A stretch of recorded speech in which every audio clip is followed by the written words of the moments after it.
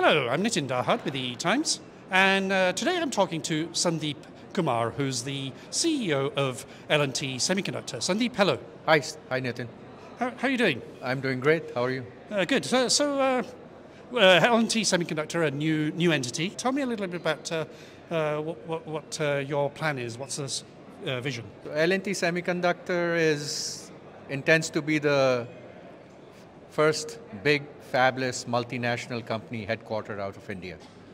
Uh, so far, uh, there's a lot of investment going into India on the infrastructure side in fab and OSAT, but we need an Indian semiconductor company, product company, in order to fill those fabs. Right. And that's what we are planning to do. No, I mean, uh, we're here at Semicon India, and uh, driving from Delhi to Noida, you see all these billboards saying yeah, India's uh, uh, semiconductor, fabless semiconductor ecosystem, and yeah, there's the semiconductor parks and all that. What exactly are you going to develop? Yeah.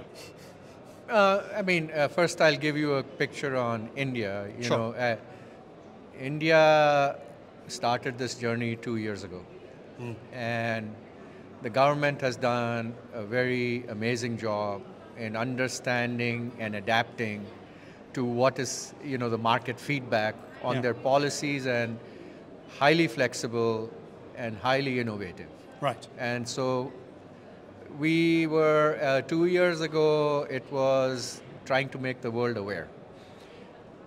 Amazing job. In two years, we are at a place where every CEO of every major semiconductor player in the ecosystem, all the way from Applied Material to NXP, is at Semicon India. Yeah, we, we, we saw and the whole lineup uh, over the last two days yeah, here. It's just amazing. Yeah. So I think now, you know, once the first fab was an, or facility was announced by Micron, uh, you go through any any uh, technology or adoption goes through some curves. And right now we are in stage two, where people ha have said, okay, first mover is done. We better. It's the FOMO.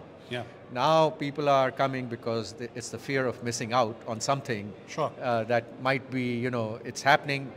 And hopefully this will now go into a big crescendo and then you will have the gold rush.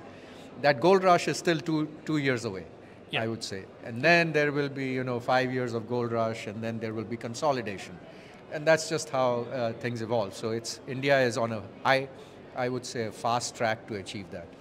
And, and on, on, is that specifically also on the fabless? Because that's kind of where you're. The fabless is just beginning. Okay. And so I would say, uh, you know, fabless, uh, building a fabless industry and using that as the uh, motivating driver for a country or a policy making is tougher.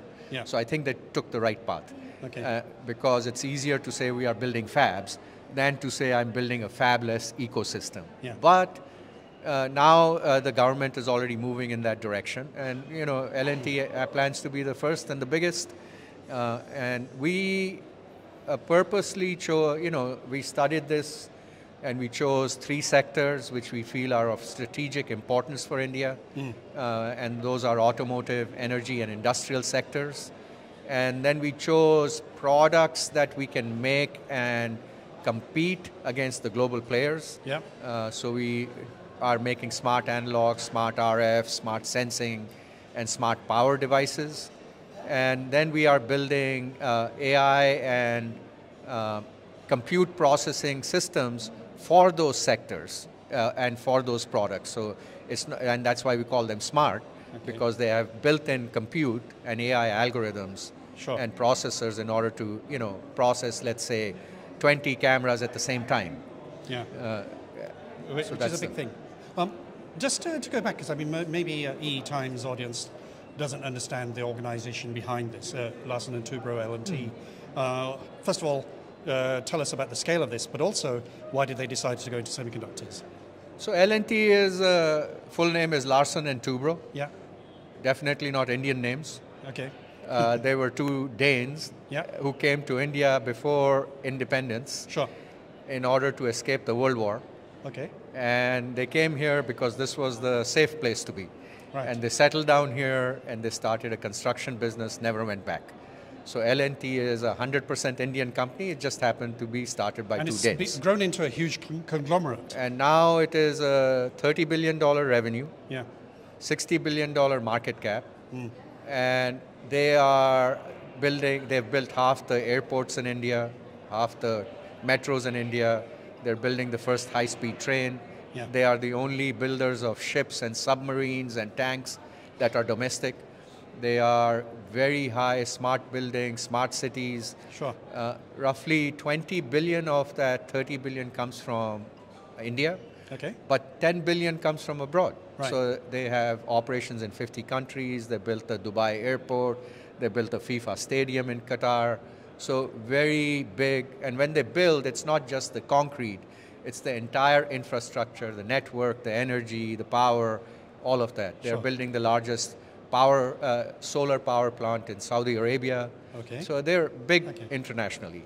And, and and I think they also had an operation in Silicon Valley a few years ago in terms of design services. Yes, so they Yeah. still do. Okay. Uh, and so about 10 years ago, uh, uh, they moved from high precision engineering, which is what they have been doing up till now, Yeah. and said they want to diversify into digital transformation. Okay.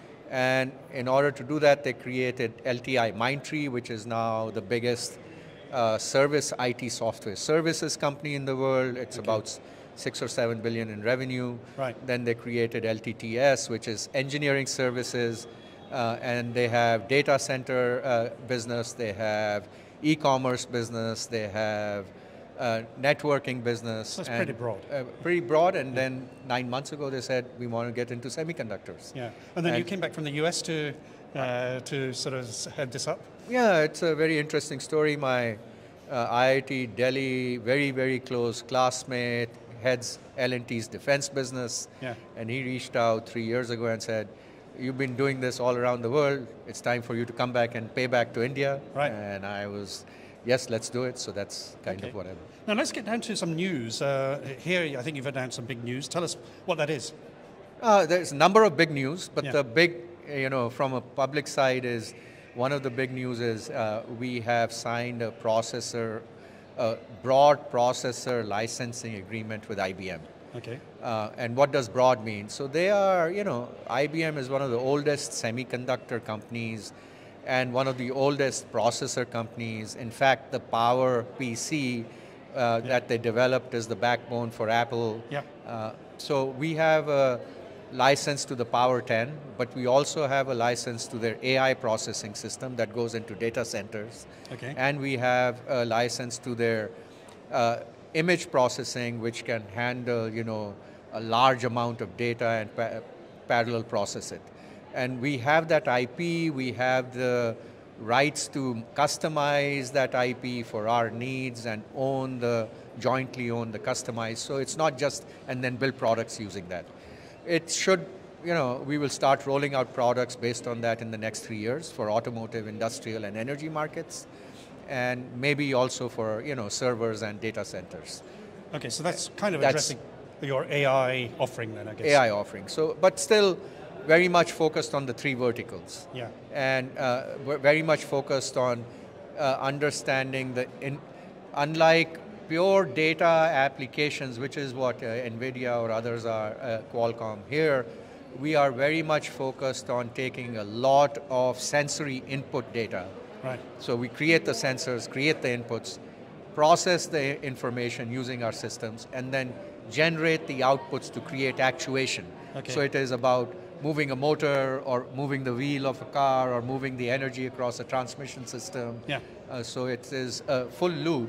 It is not pure data processing for a user interface, consumer interface. Right. Okay. This is a business application in all cases. and, and you said it's one of several announcements. What are the other, in summary, quick? Uh, so the other announcements are, you know, uh, we have, uh, we are building a, you know, a team that can do roughly 15 products in parallel. Okay. And that team build out is happening very fast. We Okay. have 250 people. We have operations in Austin, in Munich, in Tokyo, in Bangalore, in Chennai, in Noida.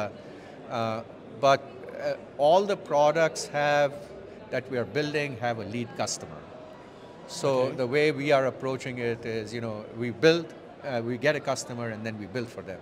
So we have an agreement on, with CP Plus that was announced, which is on surveillance and security cameras okay. for industrial and consumer applications and infrastructure applications. We have an agreement with the leading EV uh, two-wheeler company in India uh, to build their body control.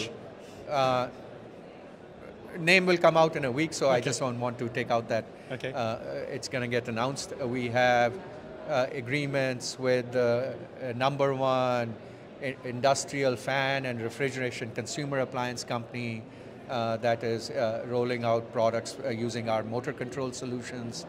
Uh, we have also agreement with another automotive company on a body control module okay. and a chassis control. So we are, uh, these are all, uh, there are six products in the pipeline yep. based on six customers and then we have another 20 plus discussions in very advanced stages in Europe, Japan and US. Right uh, which will hopefully be turning into agreements in the next three, four months and fill up that 15 pipeline. You've been really busy, haven't you? We're busy. but well, that's semiconductor, you know, it, you either move fast or you don't get into this business. Well, Sandeep, thank you very much for that enlightenment. Thanks, thank you.